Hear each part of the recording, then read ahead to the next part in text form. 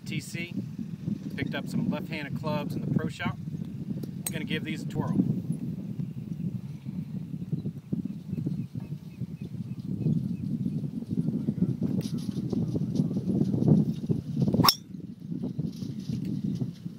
Woo! Man, that feels so good. I'm thinking about playing lefty just to make it fair.